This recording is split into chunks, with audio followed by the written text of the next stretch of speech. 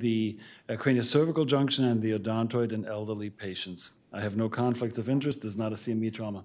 Basic workup, all of you know it, and this is a resident fellow specific thing. Always remember the ABCs, always remember the maps, and think about immobilization with sandbags as a very credible alternative. Kids should not be on a regular headboard. And again, uh, clinical clearance of spines is one of those traps when you see it in a question. It's never a, a clearance without a clinical examination, so don't uh, declare an image uh, to be uh, clear or not. And of course, all of you know and should follow the principles of determining a skeletal level of injury and a neurologic level of injury if applicable. And if there's a mismatch, dig deep. Finally, one of my pet peeves um, has been since uh, Parkland days uh, with Tim Adamson, rectal examinations. What drives me nuts is when I see rectal exam normal. This is not a factor. These are the four variables that basically play into this when you have a spinal cord injury patient that includes myelopathy patients. So nowadays you have to have a chaperone, you have to document, however, in a differentiated fashion because it's very meaningful if a patient has sacral preservation. Imaging is not always necessary. These are the five classic conditions. This is very boring basics, but I always want to point out you don't have to image everybody. Uh, these are the five uh, medical legally, since Kojo brought it up, um, accepted uh, parameters in which you don't have to get an image.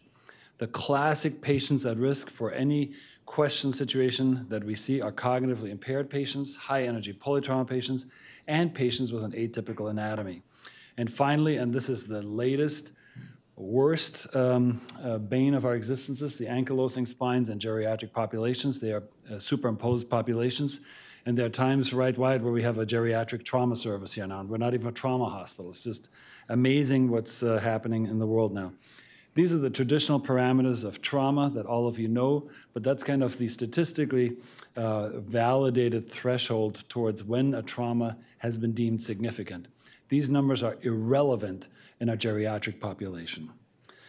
Conventional x-rays remain important for alignment purposes, and again, you have to remember that most of the thoracolumbar trauma happens at the thoracolumbar junction as identified uh, by Kojo. Lateral C-spine radiographs are still a very valid um, uh, entity.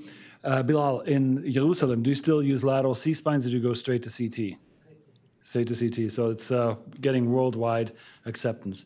And remember the classic problems of this is a patient at Harborview uh, whose cervical thoracic dislocation was missed. Um, uh, this should be a rarity nowadays. He actually survived for about two weeks. So the screening CTs are the norm, norm now. Who should get them? Again, not everybody. This is significant radiation exposure, even with helical uh, CTs. Uh, if you have any spine trauma, tumors, or infections, it's the norm nowadays.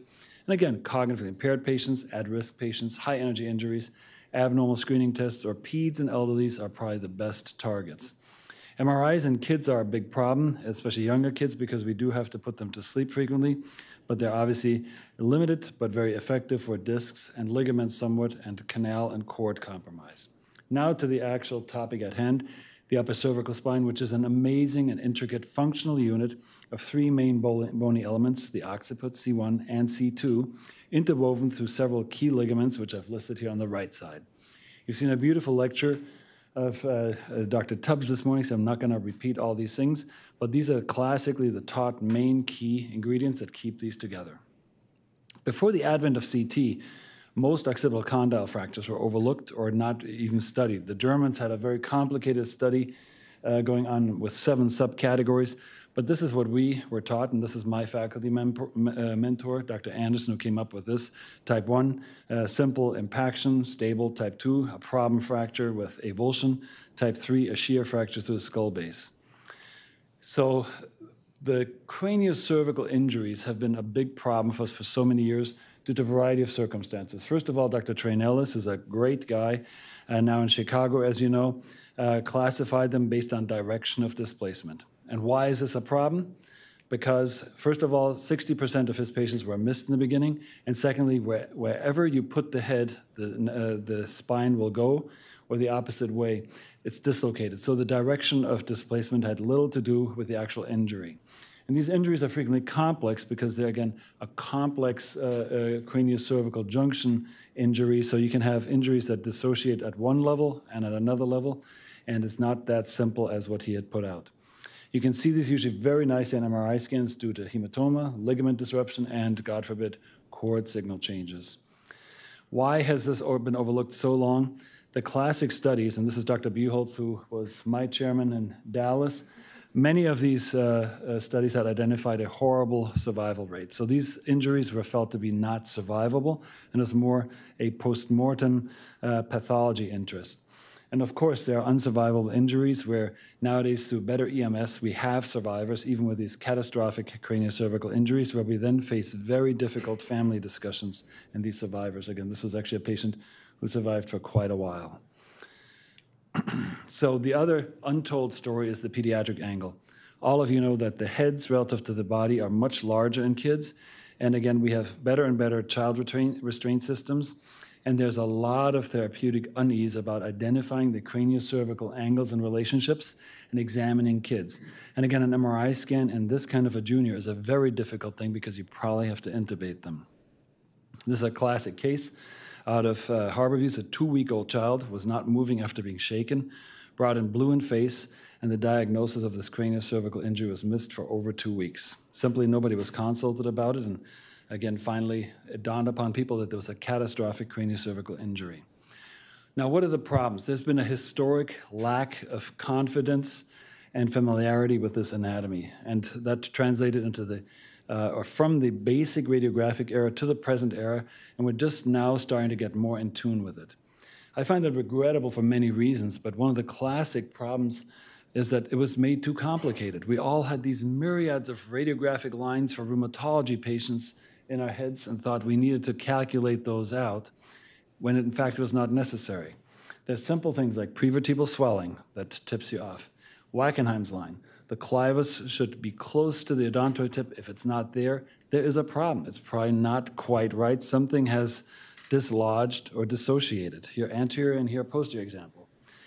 This is another example of a problem. Powers ratio. Do you all still learn that? Most people say yes, some say uh.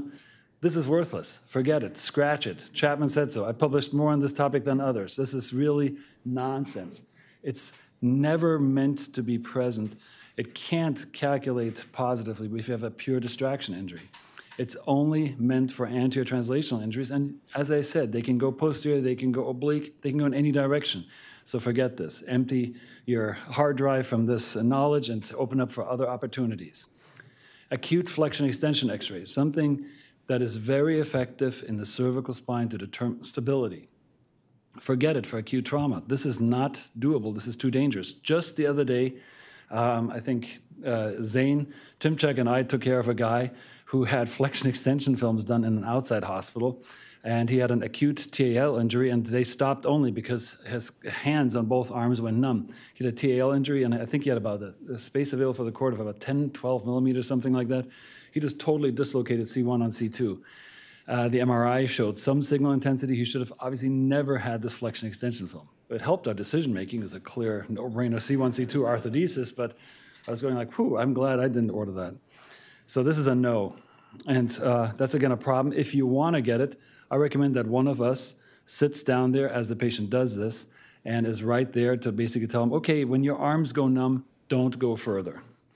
It's a little bit difficult. So at Harborview, many years ago, we did a study. We had the largest number of survivors, and we looked at a number of factors. First of all, how many survived, and the number was pretty good. But this was the shocker. Delay in diagnosis. The initial diagnosis, despite a level one trauma center, was only made in less than a quarter of the patient within 24 hours. Some of these patients came from outside hospitals. The delay of diagnosis was substantial, about two days. And again, this was a pretty grim reality check for us. We published this in Spine. And this is a classic case. We basically tried to double up educational efforts. 17 year old girl, high speed car crash, 320 pounds, weird looking fracture there. Uh, she had what was uh, basically deemed uh, either a, a, clavicle fracture, a scapular fracture. She had shoulder weakness on both sides. Turns out this was a Bell's cruciate paralysis. You see the big soft tissue swelling in her neck. An MRI was ordered, which is appropriate. It was abandoned because she developed a respiratory arrest. Uh, this was the screening shot. It tells you the story. She had a completely torn apart craniocervical junction with a cord injury. And so this was the nice MRI afterwards, which shows a catastrophic cord injury there. This was a patient who had arrived in our hospital, and we, she was in a collar even. So Uh, we did an emergent fixation on her. She did extremely well. It's one of the more gratifying recoveries from an ASIA B, so sensory only preservation cord injury. But this was a missed injury.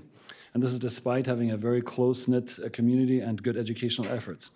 So we looked at different ways of testing this, and we think that the traction test, if you have any questions about an unstable craniocervical junction, is vastly superior. Here's a normal on the left, and even with five pounds of traction, you will see an abnormal distance. And this is unstable, and this is a surgical indication without a question. So two millimeters or more is a problem. You can do this in a fluoro.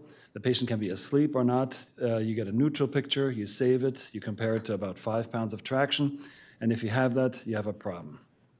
Again, here's a traction test just to show you. You have to be coaxial to the C1, C2 joints, and if there's a gap in there, you'll see it. You stop traction, stop traction, stop traction, right? Right, Bazem? Stop traction, you got that?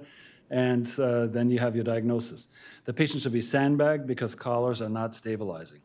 This is a cadaver study where we sectioned a variety of ligaments, and what we saw there was kind of very difficult to align with Dr. Tubbs' statements before, because we actually saw that all these various ligaments only had a partial contribution to stability. But what completely disrupted these patients were the facet capsules. So if you have a craniocervical or C1, C2 facet capsule trauma, that patient is going to be unstable. That's like the barrier or the tenant of last resort. If those are gone, you have a problem and even unilateral tears were uh, pretty problematic. This is actually in a, a post-mortem specimen where we had a uh, alar ligament tear, and on the left side you can see the facet capsules torn. So this is actually well known, and we actually found an article from 1858 that identified what we had with many cadavers uh, and great pains and all sorts of stereotactic uh, probes uh, confirmed much later on. There are these capsule ligaments that if they're torn, that craniocervical junction is definitely a goner, and if you can document that in one way, shape, or another, that's probably a clear surgical indication. So five to 10 pounds is perfectly enough to show craniocervical stability, and it's an axial form, so it's very safe for the neural elements. And the craniocervical capsule ligaments are the third primary stabilizer behind the infamous uh, membrane that you saw before in Dr. Tubbs' excellent lecture, and the alar ligaments. And finally, if there is a question of craniocervical instability, it probably follows an all or nothing principle. If you have instability, it is unstable, you got to fix it probably. So treatment is very simple. Recognize it, recognize it, recognize it. Sandbags, a big uh, uh sign, unstable craniocervical junction is present. This is a patient with an open femur fracture. We actually fixed the femur fracture. We put her into a halo, more about that in a second. We checked the reduction multiple times. We fixed the femur and then fixed her actual craniocervical junction. A word about halos. They're a distraction device. They cannot really effectively reduce the craniocervical junction. This is one and the same patient before and after reduction result. It does not really work. It's a temporizing agent. This patient actually was neurologically intact. Hard to believe, but fact and we actually took a rate to the operating room when we saw this. This is again a dislocation, another halo patient where we just could not keep the craniocervical junction together, and that patient went again straight to the operating room for a craniocervical reduction and fixation. I'm not going to talk about the surgical principles. You'll be in the lab and we'll teach you all sorts of tricks. The principles are the same as for tumor reconstructions and complex craniocervical reconstructions. Stable fixation, in those days we used transarticular screws. Nice grafting, the grafting is frequently overlooked. A nice structural graft such as the uh, famous Dr. Bohlman suggested, and you can have a very nice solid fusion, and usually we don't have to go below C2. You can do this in pediatric patients also. We've published on that also. And again, with uh, only mildly adapted small fragment fixation systems, you can actually achieve a very nice fixation. So the pediatric skeleton from about age three is perfectly capable of absorbing 3.5 millimeter screws. So in summary, the red flags to look for on cranial cervical injuries are not some complex mathematical algorithms. CTs and MRI scans will usually show you what's going on, but you have to order them and you have to look at them. Unexplained neurologic deficits, like in that shocking example of that girl who had Bell's cruciate paralysis, is a clear giveaway. Severe prevertebral swelling, that's a dead giveaway. There's a problem. You got to look very carefully. And unusual upper cervical fracture patterns where you're just not quite sure what you're looking at, like this distractive atlas fracture, that's again something that's just not quite right. Or this kind of a weird looking uh, atlas burst fracture with the uh, odontoid sitting somewhere in the canal. That ain't right. So these are These are the giveaways that there's a major problem, and this is not just a little unusual fracture. See this little fracture blib up there? That's the rest of your uh, tectorial membrane as it attached to the skull. Second topic, less shocking, odontoid fractures. You ready for this? Everybody knows this classification, right? Wrong. I could show you several studies that show that there is an ongoing war between what is a type 2 and a type 3. I assure you that if I showed you a series of 10 cases, we have a test on this, you'd probably have a high level of disagreement. The basic nutshell thing is if there is a true cancellous body involvement, it's a type 3. Everything else nowadays falls into type 2 conundrum. And again, that's the main problem for obvious biomechanical reasons. John Grauer from Yale did a very nice sub-analysis and helped us categorize it a little bit more in terms of comminution and obliquity of angle. That's actually very helpful. And so this has kind of cleaned up a little bit of the mess that we have between what's a type 2 and a type 3. And obviously, we need to answer one basic question when we're looking at odontoid fracture, which is that the TAL. The Barrow Institute did a great series of studies with uh, Curtis Dickman about TAL integrity. This is their study. And again, if you have a ligamentous TAL injury, regardless of what your odontoid fractures, that's probably a surgical indication. If there's a true bony component, you have a chance with a halo to help it heal. But again, the second that the TAL is torn or impaired, you have a problem. Now, What's the real problem for odontoid fractures? I talked a little bit about fracture morphology, but the real problem is that we've had a major change in society. You know what I'm talking about? The aging of our society. This is a Harborview series, and you can see this blue bar just jumping up whilst the red bar is going down. What's the red bar? Those are the knuckleheads who drive in their whatever Porsche or it's a, it's a Toyota Corolla, whatever, souped up, and they're totally high and whatever, drugs, alcohol, they crash their car and they have a nice, juicy type 2 odontoid fracture, and it's yes, this is a great case, right? Those days are over. They have airbags and they, they sit behind computers and they're Grand Theft Auto 25 and, uh, or Fast and Furious, and uh, that's how they play. They don't uh, ride cars anymore. We are in the midst of a silver tsunami and we have no idea where this ends, and I'm nearing 60, so I'm going to be part of this, so please take care of me. But these are the numbers. And uh, this is the problem. Again, age as a chronologic uh, feature matters almost nothing anymore. We have people who are literally just unbelievable. My father-in-law is 89. He had a five-level lumbar surgery. I mean, he went three days later. He went off to Africa to build uh, the hospital that he's uh, building there, build an expansion on it.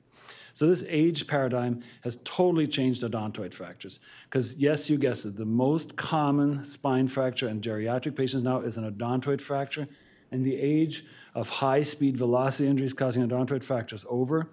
And we have more and more patients who are closing in on the centenarian date coming with odontoid pathologies. What's the problem? Two things. A, osteopenia in the target zone of the waist of the odontoid, which is a physiologic phenomenon for which we have no answer. And B, the odontoid is a pivot point for our craniocervical junction. Now, what do I mean with that? If you look very carefully, this is a classic case of a patient who has significant odontoid atlantal pathology. See that? There are significant osteophytes, and the atlantoaxial joints are significantly stiffened up through this ankylosing process, which puts the pivot point of failure right smack into the waist of the odontoid. So that's the problem, and this is a stiffening problem, and when you fall and twist your head, it cracks where it should. And again, fractures in over 70 year olds now are mainly type 2 injuries, more females than males, and low energy trauma, which, by the way, statistically speaking, is more fatal than high velocity trauma. Complications, obviously brutal, classically more than 40% mortality within one year, and complications over 50% have been reported repeatedly in the literature, and yet again, missed injuries are a bane of our existence. Now, one of my favorite procedures I almost don't get to do anymore the odontoid screw. This was spine surgery at its finest. Precision, like what Dr. Ziegler showed before, clear decision making, super precise execution, minimal bleeding, maybe even less than in Dr. Ziegler's and Dr. Adamson's excellent hands. And you had fixed a fracture without fusing something. Absolutely fabulous. The problem is you had to, it was totally unforgiving. This is, note, not my case. This is a poor starting spot to anterior. If you don't do that right, it breaks out right away or sags out. So you had to really be super exacting. This patient had to be treated with a fusion, but it was a very gratifying procedure. And we learned over time that there are a lot of fracture patterns which are contraindications. And basically now, I gotta tell you, we're in a situation where doing odontoid screws is a true exception, if at all. First of all, in terms of blood loss, it's awesome compared to any posterior procedure, but on this right-hand picture, you can see the problem, the retropharyngeal zone and the upper or the uh, pharyngeal plexus. Aspiration and swallowing are a real problem in our target audience, which is now a geriatric one. So this is a really big deal. We found out that most elderly people have a physiologically denervated superior laryngeal plexus. This is why they gag and aspirate so easily. And if you then add trauma of an upper cervical retraction in there, swallowing becomes a nightmare.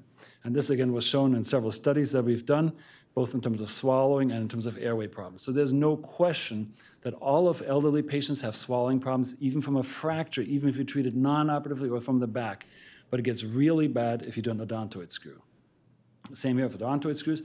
So basically, odontoid screws are an almost extinct entity, and I'll show you a study on that in a second. Now, what do we do? Halo was one of those things that has come and gone, and maybe it should still be around. These were actually, uh, this was uh, the parents of a patient of mine who had an odontoid fracture also, and she came and wanted to have a halo. We actually operated on her, but this is her dad and her mom in a Minerva cast. Both had odontoid fractures when they had a car crash. True story. So the halo is a great external mobilization tool, at least historically, but it does allow some motion. The complications of halos have been uh, vastly, I think, overreported. This is in one of our studies through Rick Bransford. And again, the most common problem are, uh, problems are pin tract infections and loosening, by far. We did a survivorship analysis, and I forgot what the number was, but it was a pretty large number. I think, yeah, see it there, uh, almost 250 patients prospectively followed up. And we could identify that if you could uh, uh, deal with a halo and have a good alignment for the first two weeks, your chances of actually completing the treatment successfully were actually pretty high. So this statement that this is a real problem don't apply. Now, of course, you can't do this in a patient with severe kyphosis, ankylosing spondylitis. There are myriad of contraindications, but per se, if you made it past this blue line, the halo and the halo stayed in place and everything was good, the fracture stayed in place, you had a reasonably good chance of success to make it to three months. So the comparison studies that were done by some other colleagues now uh, showed again that there's no difference in terms of a hard collar and a halo. So for you as a board answer, basically for type 2 odontoid fractures, there's not a strong reason to use a halo anymore, but it probably still gives you a better chance for healing than anything else. A simple proposal for me is the following. If you have a neurologically intact patient with a minimally displaced odontoid fracture, put them into rigid collar, get a lateral x-ray recumbent, get a lateral x-ray upright. If it doesn't shift, send them home with it if they're compliant. Unlike uh, Kim's patients there who need to wait for a week for a collar, right? so does it matter if you actually get a union? This has been hotly debated. One of my partners, Bob Hart, wrote a famous paper with six patients that they did not need any, uh, that they had no problems with established unstable odontoid fractures. Now, the fine print was that these patients were over 80 and all of them were demented, and they still were living in nursing homes, but that's another factor. So there's, again, a small series of patients who's, who've survived with a neurologically intact uh, status for a number of years, raising the question of should we do something in geriatric odontoid fractures. Chris Kepler from Philadelphia did a nice study, and he could identify that there's indeed a small but present group of about 18% of patients who have significant new neurodeficits. Most of these were not headaches, these were spinal cord injuries. And these are 79 year olds with known or unknown chronic odontoid fracture. So a small subset of patients will die or significantly alter their life with a fall. And again, I would suggest uh, the, my review of this paper uh, signaled be aware of it and uh, understand the patient, see whether they have pain, see whether they're cognitively with it, and discuss the options of surgery or non-surgery. In general, the trend of surgical treatment has rapidly increased over time. This is a national study that we did, and we could identify that the no surgery option for odontoids is on the regress compared to the top right half, which favors surgery. The type of surgery has also changed dramatically. And over the years, we can see that number two, which is the Harms Goel screw, so the segmental fixation has become very popular, whilst number one, the odontoid screws are really starting to become extinguished and all the other posterior arch fusion techniques are just marginal existences. So we saw a really significant trend towards segmental fixation becoming the treatment of choice over several years. Now, we did an odontoid study with geriatric patients funded through AO Spine North America. Uh, we did this multi-center, I think 10 centers. We had uh, prospectively enrolled 322 patients with surgeon-patient preference. And what did we find? We found that surgically treated patients by 30 days had a significant higher survival rate. A lot was done about did we kind of skew patients one way or the other? Of course, we had a surgeon preference trial, but statistically, we feel we had a very strong modeling effort, and we could really account for any differences, which are, by the way, relatively subtle. This trend consolidated itself by two years, and again, there was a very clear survival advantage for surgically treated patients in terms of C1, C2 fusions. So for us, is a pretty strong argument in a biologically reasonably healthy patient who could tolerate a procedure to do a C1, C2 posterior fusion, and uh, with that, help patient survival. One thing that we've seen in the interim, which is really interesting, is the so-called vulture neck. Do you know what the vulture neck is? If you have a geriatric patient with an odontoid fracture, any spine fracture in their neck region, after whatever care you've rendered, their neck will want to fall forwards. And what is this a result of? It's probably a myopathy. It's atrophy of the paraspinal muscles. So bracing is probably a really bad thing for elderly patients because they'll really fall forwards. And there's obviously a cone of effectiveness between the craniocervical junction and the cervical thoracic junction uh, that has now been started to be looked at by the ISSG. And uh, we just had a number of their uh, colleagues right here, including Chris Ames, who really deserves a great deal of credit for having opened our eyes to the importance of the T1 inclination angle for the overall craniocervical junction and our overall spine alignment. It all fits together. So this cone of efficiency of craniocervical junction over the cervical thoracic junction is a big deal, and braces are not innocent and just posturally induce a significant atrophy of muscles that then is very hard to remedy. And again, we had actually a higher non-union rate, again, with collars in our series, in part due to this shearing forward of the craniocervical junction. Finally, in terms of cost analyses, we're in an era where we have to prove what we do. And again, there's little question that odontoid fixation for younger patients is very cost effective from a so-called quality basis. The second that we start going into older patients, however, these equations start uh, flipping around, and we can now put dollar figures onto healthcare politicians' tables in terms of identifying how much they want to spend. And again, there's no question that once you get statistically speaking from an actuarial basis into the octogenarians, it'll be basically um, a sixth of the efficiency of a fixation in a younger patient. So now putting you to the test, 82-year-old patient. Let's just say it's your, God forbid, uncle. Ground level fall, lives in a retirement home, community ambulator, supportive aunt, wife, hypertension, nothing bad, GSC 12, has significant neck pain, displaced odontoid fracture. Please, by a show of hands, who would want to put this patient into a collar and just see how he does? We have a posterior displaced, 50% displaced odontoid fracture. Collar only. Please show me your hands. C1, C2 fusion. Odontoid screw. Good, you're with it. Jack, what would you do? Collar. Why?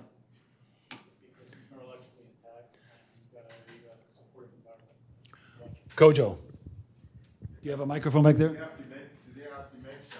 No, you can't call our uncle demented. He lives in a retirement home. He knows that the Red Sox are the best team in baseball. So what else matters? So, I, I, I agree with Dr. Ziegler. My issue has to do with is the collar going to cause more issues, aspiration versus yeah. I showed you it causes a vulture neck. Correct. Aspiration versus um, even they've fallen again because they can't see their feet with their. Uh, but most importantly, you know, they complain of neck pain and and that warrants me to to offer surgery. Let's ask Dr. Moisey, who's just joined us from Detroit Receiving Hospital. Collar or not, or surgery? Uh, I have to agree with Kojo. I think I would, you know, uh, we'd probably operate on this person um, if they. you know, it depends on if there are any other injuries. If this is all they have, we'd operate. Yep. So we did operate on this patient, and he actually did. This is an older case from Harvard. He did extremely well and walked out, survived two years out. Now, this is the aging of our planet, and again, some societies have to ask themselves, especially the deep red and brown ones, uh, where this is going on. Central Europe and Japan are just uh, inundated with geriatric odontoid fractures nowadays.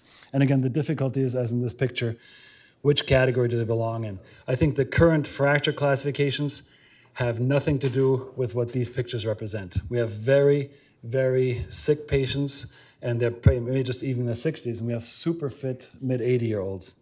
So the real decision making points are probably more or have more to do with a mini mental status and senility than with actual fracture patterns. Now I'm going to put you to the real test. So that previous case was just a warm up. 98 year old male, three weeks status post, and this is actually erroneous. This is not a car crash. This is actually a true story. It's an ATV flip. Neurologically intact. Three weeks out, he had the Ziegler treatment of a rigid neck collar.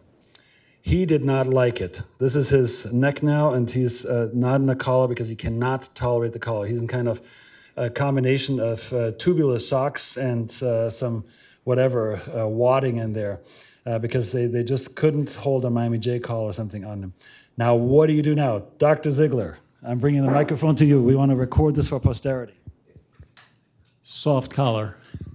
Well, this is not even a soft collar. So you just you want to wrap this up and just kind of put that on his chin, Dr. Adams. Soft collar. Whoa, cruel. What what terrifies you? The nine eight. Okay. Um, Dr. Hart. Wait, wait, wait. Hang up that phone. You may be on call. You can't escape.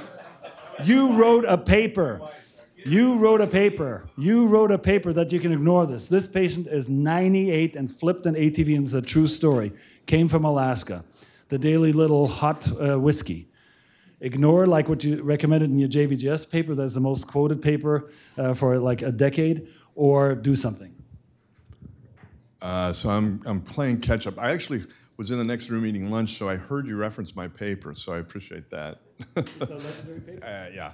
Well, so I got to say that, so just it's kind of comic relief. That paper was sitting around as a resident, and it was five patients, and it was probably the least work I've ever had in a research paper and it's the one I get asked the most about. So I, I don't know what that tells you about clinical research. Yeah, I'm getting. Okay, okay, very good. So I'll start with that. But um, this patient, looking at this, I mean, that's a that's. I, don't know how you classify that fracture quite. It doesn't look to me like a simple type two.